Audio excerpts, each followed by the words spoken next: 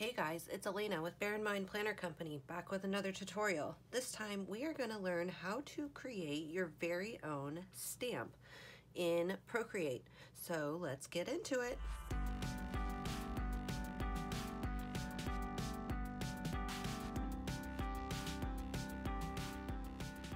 Making your own stamp as a customized brush in Procreate is actually easier than you think go ahead and make sure you have Procreate downloaded. It's $9.99 in the App Store, iOS.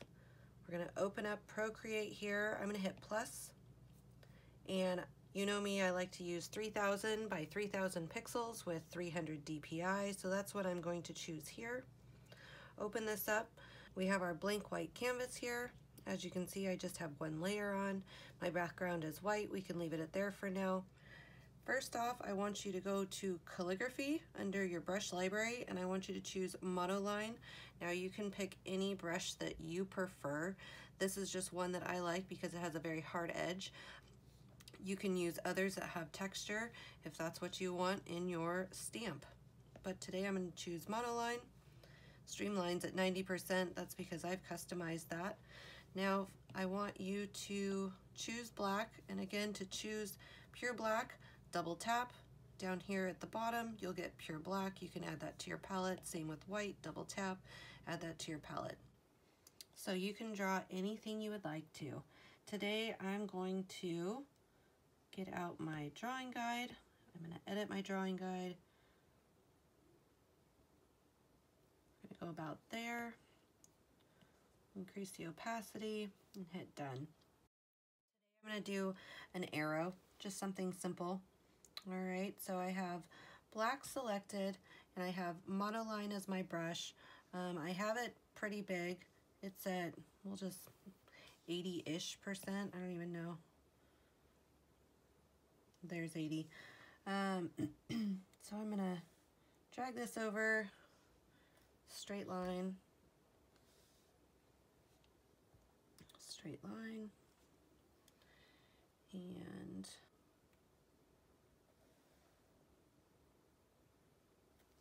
see, we'll do this here. There we go.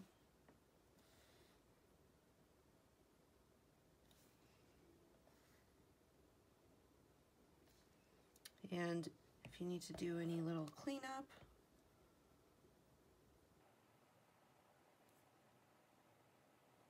now's the time to do it before you create your stamp. And so there's a nice arrow and that will definitely be useful in my planner. I'm just going in and cleaning up some areas just to make sure it's what I like. And uh, so now I'm going to add another layer and I'm going to choose white. Go back to my layers. On this second layer, I'm going to tap it and hit fill layer. Now, my arrow went away because my filled layer with white is behind it or on top of it. I want it behind it and then I'm going to merge down. Now what I want to do is click on the merged layer and I want to copy this. All right. Now this is where we are going to create our own brush. Um, I've created a, another brush library option. Um, custom stamp, you can hit add and create any uh, named library that you want. You can also rename it or delete it. I'm going to continue staying in custom stamp here and then I'm going to hit the plus symbol. Now over here, since we have copied the shape that we wanted, we want to go to shape and go to edit. Make sure you are in landscape mode because you won't have all of these options if you're in portrait mode. So go ahead and turn your iPad to landscape. You're going to hit import and paste. There is our shape that we just created. And I want you to take two fingers and tap on it. That's going to invert it. If you originally put a black background and drew with white, then you would not have to invert it. So up to you on how you want to do that. I'm gonna hit done and now here is my shape. You can see this changed a little bit and that will look more like our shape in just a few minutes. So now that we have our shape done, I want you to come down here to uh, properties and I want you to increase your maximum size and this is something you'll need to play with so let's see let's go 800% ish jump back down and my minimum size I'm going to increase this just a little bit as well we'll go to 25% the other thing I want you to do is use stamp preview I want you to click that on and what that's going to do is it's going to use our shape as our preview. And so, whoop, I double clicked. There it is. There's our stamp. So you can draw on this and you can click on it and hit clear drawing pad and there is our stamp. So you can go back over here to shape and see your stamp. And if you went to properties in the preview, you can increase this or decrease this. They're sitting at, well, 19% now. But there is our brush we added in. Now we can add another layer. I have white selected, so we can grab any color we want to. I'll grab a blue and I will deselect that image. we'll increase this all the way to max and I'll show you. There is our stamp. And you can decrease the size and make a smaller stamp. Increase the size and make an even tinier stamp. And you can use this even as a brush now. It's It is a brush. It We're just using it as a stamp. So that's the only difference.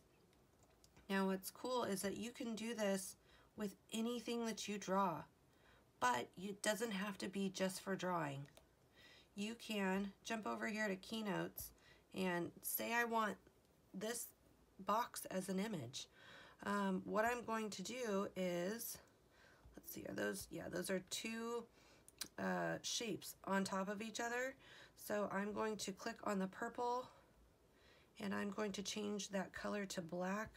I'm going to click on that one, click on this one. I'm going to hit copy, jump back over to Procreate, I can add another layer, swipe down with three fingers, hit paste. There is my image that I just took from Keynote. I'm going to increase the size and center it the best that I can. And we are going to fill this layer, bring that under, then you can also, that never works for me, Swish them together. I just use merge down.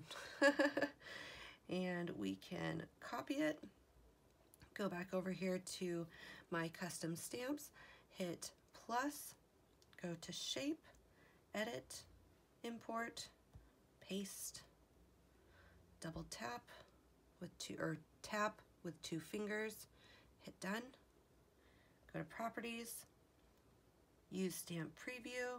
I'm going to increase the maximum size, again probably around 800.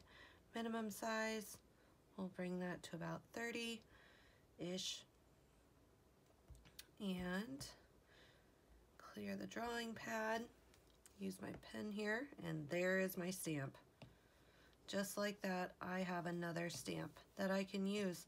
And now just because we've done this in black, Again, doesn't mean it has to be black. You can customize these colors to anything that you want for your planner or anything that you want for a drawing. All right, guys, I hope this helped uh, teach you something new and fun to play with. So test it out, see what you think. So give me a thumbs up. Make sure you hit that subscribe button, and uh, we'll see you soon.